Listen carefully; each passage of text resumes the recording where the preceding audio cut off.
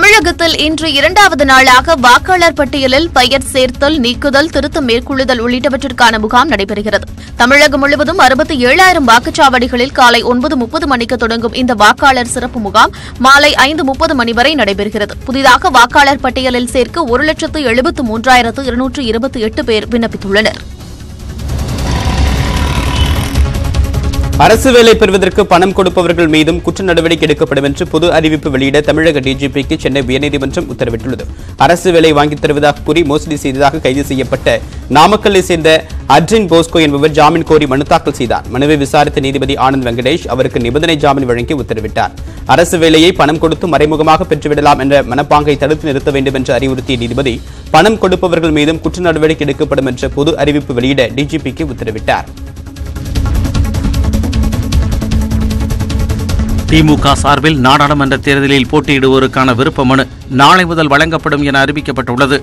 இதுகுறித்து அக்கட்சியின் பொதுச் செயலாளர் க. அன்பழகன் வெளியிட்டுள்ள அறிக்கையில் முறையாக பூர்த்தி செய்யப்பட்ட விண்ணப்பத்தை வரும் மார்ச் ஒன்று முதல் ஏழாம் தேதி மாலை ஆறு மணிக்குள் சமர்ப்பிக்க வேண்டும் என்றும் அறிவுறுத்தியுள்ளார். வேட்பாளரின் விண்ணப்ப கட்டணமாக இருபத்தி ஐந்தாயிரம் ரூபாய் நிர்ணயிக்கப்பட்டுள்ளதாகவும் இதற்கான விண்ணப்ப படிவத்தை ஆயிரம் ரூபாய் செலுத்தி பெற்றுக்கொள்ளலாம் எனவும் தெரிவித்துள்ளார். இதேபோன்று காலியாக உள்ள இருபத்தோரு சட்டப்பேரவை தொகுதிகளுக்கான விருப்ப மனுவும் வழங்கப்பட உள்ளது. விண்ணப்பம் செய்தவர்களின் தொகுதி தோழமை கட்சிக்கு ஒதுக்கப்பட்டால் கட்டணம் திருப்பி வழங்கப்படும் எனவும் க. அன்பழகன் குறிப்பிட்டுள்ளார். அரசியலில் சத்திரியனாக மட்டும் இல்லாமல் சாணக்கியனாகவும் இருக்க வேண்டும் என பாமக இளைஞரணி தலைவர் அன்புமணி ராமதாஸ் பேசியுள்ளார். பாமக சிறப்பு பொதுக்குழு கூட்டம் விழுப்புரம் மாவட்டம் வானூரில் நடைபெற்றது. அதில் பாமக நிறுவனர் ராமதாஸ் தலைவர் ஜி கே மணி இளைஞரணி தலைவர் அன்புமணி ராமதாஸ் உள்ளிட்டோர் கலந்து கொண்டனர். இதில் பேசிய அன்புமணி ராமதாஸ் பாமகவை விமர்சிக்கும் தகுதி யாருக்கும் இல்லை என கூறினார். நம்ம எப்படியோ வளரக்கூடாது முன்னுக்கு வந்துடக்கூடாது வளர்ந்துடக்கூடாது அப்ப நம்ம என்ன செய்யணும்? நம்ம சத்ரியனா மட்டும் போடாது இந்த கூட்டணியாக பாட்டாளி மக்கள் கட்சியினுடைய கொள்கையை எழுதவும் நாம பின்வாங்க போவது தொடர்ந்து கூட்டத்தில் பேசிய ராமதாஸ் அதிமுக பாமக கூட்டணி இயற்கையான கூட்டணி என தெரிவித்தார். உள்ளாட்சி தேர்தலிலும் இந்த கூட்டணி தொடரும் என குறிப்பிட்ட ராமதாஸ் யார் தூற்றினாலும் கவலைப்பட வேண்டாம் என தொண்டர்களுக்கு அறிவுறுத்தினார். அதிமுக பாஜக பாமக கூட்டணியை திமுக விமர்சனம் செய்வது குறித்த கேள்விக்கு சீச்சி இந்த பழம் புளிக்கும் என மத்திய இணையமைச்சர் பொன் ராதாகிருஷ்ணன் பதிலளித்தார். சென்னை விமான நிலையத்தில் செய்தியாளர்களிடம் பேசிய அவர் மார்ச் ஒன்றாம் தேதி பிரதமர் மோடி கன்னியாகுமரிக்கு வந்த பின் தமிழகத்தில் அரசியல் மாற்றம் உருவாகும் என்று கூறினார். எந்த மாநிலத்திலும் பிற மொழிகளை பாஜக திணிக்கவில்லை என்றும் பொன் ராதாகிருஷ்ணன் தெரிவித்தார்.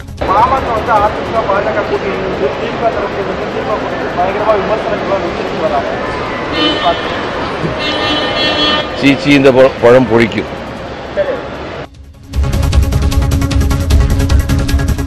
கோவை அரசு மருத்துவமனையில் இரண்டு வயது குழந்தைக்கு ஹெச்ஐவி ரத்தம் ஏற்றியதாக எழுந்த புகாரில் துளிகூட உண்மையில்லை என சுகாதாரத்துறை அமைச்சர் விஜயபாஸ்கர் தெரிவித்துள்ளார். கோவை அரசு மருத்துவமனையில் புதிதாக அமைக்கப்பட்டுள்ள ஆஞ்சியோகிராம் சேவை மற்றும் மாவட்ட தொடக்கநிலை இடையீட்டு சேவை மையத்தை அவர் துவக்கி வைத்தார். பின்னர் செய்தியாளர்களிடம் பேசிய அவர் ரத்தம் கொடுத்ததால் குழந்தைக்கு ஹெச்ஐவி பாதிப்பு ஏற்படவில்லை என தெரிவித்தார். பிளட் நம்ம ப்ராப்பராக எல்லாமே செக் பண்ணியாச்சு. டோனர் பிளட் வந்து கம்ப்ளீட்டாக நெகட்டிவ்ங்க அதில் அந்த குட் அதாவது இந்த ரத்தம் கொடுத்ததனால் அந்த நிகழ்வு ஏற்படவில்லை என்பது மிக சரியாக உறுதிப்படுத்தப்பட்டிருக்கிறது. அந்த டோனரையும் நம்ம ஸ்க்ரீன் பண்ணிட்டோம். இப்போ சமீபத்தில் இந்த குற்றச்சாட்டு எழுந்ததுக்கு அப்புறம் ஸ்க்ரீன் பண்ணிட்டோம். இப்போவும் அதில் அதில் அந்த அவர் வந்து அவர் வந்து அந்த நெகட்டிவாக இருக்கார். அதனால் அந்த குற்றச்சாட்டு எழவில்லை. பல்வேறு மருத்துவமனையில் தொடர்ந்து சிகிச்சை பெற்றிருக்கிற காரணத்தினால வேறு என்ன காரணத்தினால அது வந்திருக்கக்கூடிய அந்த வாய்ப்பை வந்து அவங்க அந்த ஒத்துழைப்பு அளிக்கின்ற பட்சத்தில் முழுமையாக விசாரணை மேற்கொள்ளப்படுகிறது.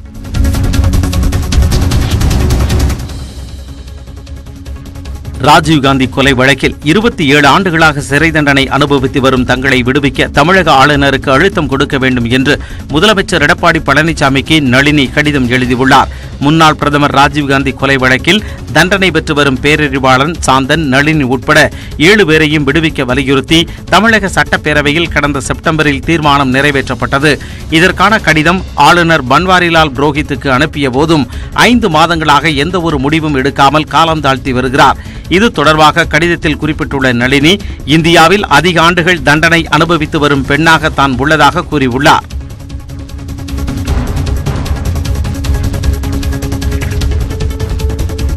எட்டாம் வகுப்பு முடித்த நூற்று எட்டு மாணவர்களுக்கு விஞ்ஞான வளர்ச்சிக்கு ஆர்வம் ஊட்டும் வகையில் கோடை விடுமுறையில் இஸ்ரோவில் பயிற்சி அளிக்கப்படும் என இஸ்ரோ தலைவர் சிவன் தெரிவித்துள்ளார். சென்னை விமான நிலையத்தில் செய்தியாளர்களிடம் பேசிய சிவன் சந்திரயான் இரண்டு செயற்கைக்கோளை ஏப்ரல் மாத இறுதியில் அனுப்ப திட்டமிட்டுள்ளதாக தெரிவித்ததுடன் விரைவில் விண்ணில் செலுத்தப்பட உள்ள பிஎஸ்எல்வி சி நாற்பத்தைந்து ராக்கெட் முதல் முறையாக மூன்று வித வட்டப்பாதையில் கோள்களை செலுத்தும் என்றும் கூறினார்.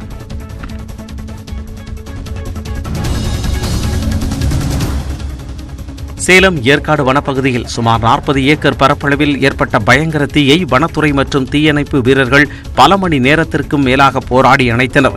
மலை அடிவார பகுதியில் உள்ள குருவம்பட்டி உயிரியல் பூங்கா அருகே உள்ள கருங்காலி கிராம வனப்பகுதியில் காட்டுத்தீ பற்றி எரிந்தது. வனத்துறையினரும் மற்ற துறை அதிகாரிகளும் தீ ஊருக்குள் வராமல் தடுத்தனர். பாதுகாப்பு கருதி அந்த பகுதியில் வசித்து வந்த ஐம்பதற்கும் மேற்பட்ட குடும்பத்தினர் அருகே உள்ள விநாயகம்பட்டி அரசு பள்ளியில் பாதுகாப்பாக தங்க வைக்கப்பட்டனர். இந்த பணிகளை நேரில் பார்வையிட்ட மாவட்ட ஆட்சியர் ரோகிணி தீயணைப்பு பணியினை துரிதப்படுத்தி பள்ளியில் தங்க வைக்கப்பட்ட ஐம்பதற்கும் மேற்பட்ட குடும்பத்தினரை நேரில் சந்தித்து ஆறுதல் கூறினார். தருமபுரி மாவட்டத்தில் வறட்சியின் காரணமாக மரவள்ளி கிழங்கை ஜேசிபி இயந்திரம் மூலம் விவசாயிகள் அறுவடை செய்து வருகின்றனர். அரூர் மொரப்பூர் பாப்பிரெட்டிவெட்டி பகுதிகளில் அதிக அளவில் இரவையிலும் மானாவாரியிலும் மரவள்ளி கிழங்கு சாகுபடி செய்யப்பட்டுள்ளது. இந்த ஆண்டு போதிய மழை இல்லாததால் மகசூல் குறைந்துவிட்டது. தண்ணீர் பாய்ச்சி மரவள்ளி கிழங்கை பிடுங்க வேண்டிய நிலையில் நீர் இல்லாததால் மணிக்கு எண்ணூறு ரூபாய் வாடகை கொடுத்து ஜேசிபி இயந்திரம் மூலம் அறுவடை செய்வதாக விவசாயிகள் தெரிவித்துள்ளனர். மரவள்ளி கிழங்கு விவசாயத்திற்கு செலவிட்ட தொகை தொகையை கூட பெற முடியவில்லை என்றும் விவசாயிகள் வேதனை தெரிவித்துள்ளனர். இந்திய விமானத்தை பாகிஸ்தானுக்கு கடத்தப் போவதாக வந்த தொலைபேசி தகவலை அடுத்து நாடு முழுவதும் உள்ள விமான நிலையங்கள் உஷார்படுத்தப்பட்டுள்ளன. மும்பை ஏர் இந்தியா நிறுவன இயக்க கட்டுப்பாட்டு மையத்திற்கு மிரட்டல் அழைப்பு வந்துள்ளது. அதனைத் தொடர்ந்து விமான நிலையங்கள் மற்றும் விமான நிறுவனங்களுக்கு எட்டு புதிய கட்டுப்பாடுகளை விமான போக்குவரத்து பாதுகாப்பு அமைப்பு விதித்துள்ளது.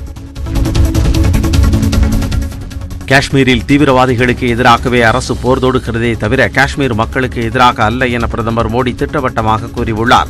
புல்வாமாவில் நாற்பது துணை ராணுவத்தினர் கொல்லப்பட்ட பின் அது பற்றி கருத்து கூறாமல் இருந்த பிரதமர் ராஜஸ்தான் மாநிலம் டோங்கில் நேற்று நடைபெற்ற பொதுக்கூட்டத்தில் காஷ்மீர் மக்களை குறிவைத்து தாக்குவோரையும் எச்சரித்தார்.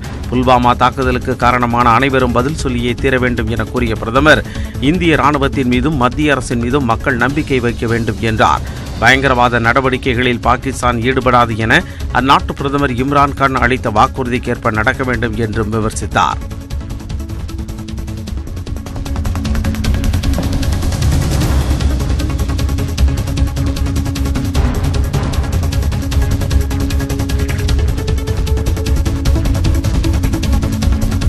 கர்நாடக மாநிலம் சாம்ராஜ் நகர் மாவட்ட வனப்பகுதியில் பிடித்த தீ இன்று இரண்டாவது நாளாக எரிந்து வருகிறது.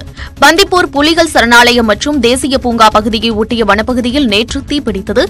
மளமளவென தீ பரவியதால் வனத்துறை ஊழியர்களும் தீயணைப்பு படையினரும் தீயணைப்பு நடவடிக்கைகளில் ஈடுபட்டு வருகின்றனர். ஆனாலும் கட்டுக்கடங்காத காட்டு தீ தொடர்ந்து பரவி வருகிறது. இந்த விபத்தில் வனவிலங்குகள் பல உயிரிழந்த நிலையில் ஏராளமான அரிய வகை மரங்களும் தீக்கிரையானதாக வனத்துறை அதிகாரிகள் தெரிவித்துள்ளனர்.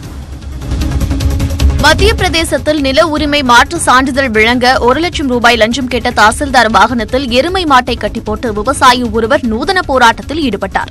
திகாம்கர்க் மாவட்டத்தில் உள்ள கரகாப்பூர் தாசில்தார் சுனில் வர்மாவுக்கு ஏற்கனவே ஐம்பதாயிரம் ரூபாய் கொடுத்துவிட்டதாக விவசாயி தெரிவித்துள்ளார். ஆனால் தாசில்தார் ஒரு லட்சம் ரூபாய் கேட்டதால் அதை தம்மால் கொடுக்க முடியவில்லை என கூறியுள்ள விவசாயி பணத்திற்கு பதிலாக தமது எருமை மாட்டை லஞ்சமாக வைத்துக் கொள்ளுமாறும் தமக்கு நில உரிமை மாற்று சான்றிதழ் வழங்க வேண்டும் என்றும் வேண்டுகோள் விடுத்தார். தகவல் அறிந்து தாசில்தார் அலுவலகத்திற்கு வந்த மாவட்ட ஆட்சியர் தாசில்தார் மீது புகார் அளித்தால் உரிய நடவடிக்கை எடுக்கப்படும் என உறுதியளித்தார்.